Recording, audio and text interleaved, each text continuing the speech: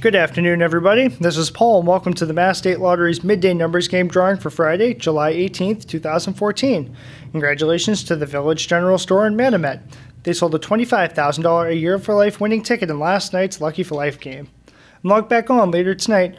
Our Mega Millions jackpot for this evening is an estimated $50 million. Now let's take a look at the winning numbers 0265. Once again, the winning midday numbers for Friday, July 18th are 0265. Thanks for stopping by, and we'll see you later tonight. Good luck.